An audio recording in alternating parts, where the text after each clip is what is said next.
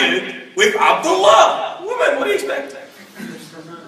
She said but your wife, your wife inside the house, she does these things. Lord. Abdullah said, okay, go inside and have a look at my wife. So she quickly runs inside, goes to his wife, and scrutinizes her. There's nothing there. Goes back out. I didn't find anything there.